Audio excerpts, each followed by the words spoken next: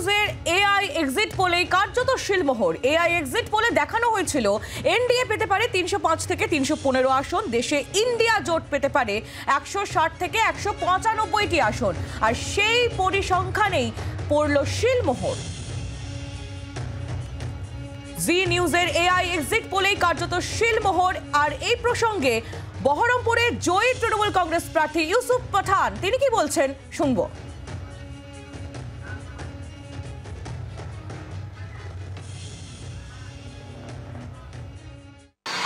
अ, मैं ढेर सारी शुभकामनाएं देता हूं जे जेनाई जो एआई एक नया टेक्नोलॉजी टेक्नोलॉजी लेकर आ रहा है जी तो उसके लिए जी को और सभी दर्शकों को भी और आप सभी को ढेर सारी शुभकामनाएं देना चाहता हूं मैं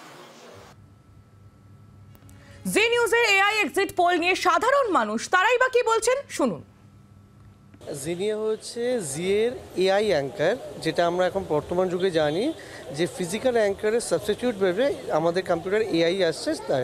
কিন্তু জিনিয়াকে শুধুমাত্র ভোটের ক্ষেত্রে না, আমাদের দৈনন্দিন জীবনে যেগুলো দরকার, সেইগুলো যেমন জিনিয়া ভোটের সময় এক্সাক্ট পুলে যা যা রিপোর্ট পুরো মিলে গেছে, তেমন যাতে পার্সোনাল লাইফ ওয়েদার থেকে আরম্ভ করে ডেইলি লাইফের প্রত্যেকটা যদি আপডেট দেয় জিনিয়া সত্যি ভালো কাজ করেছে। যথেষ্ট ইউসেজ দেখলাম, অনেকটা মিলে গেছে প্রেডিকশন আপনার যে প্রেডিক্ট করেছিল, ওই টুলটা পুরোটা মিলে গেছে প্রায়। ভালো আবিষ্কার বলতে পারে এআই এর, নতুন একটা অ্যাডভান্স টুল যাকে, যেগুলো, যে, যেটাকে মানুষ ট্রাস্ট করতে পারে ভবিষ্যতে।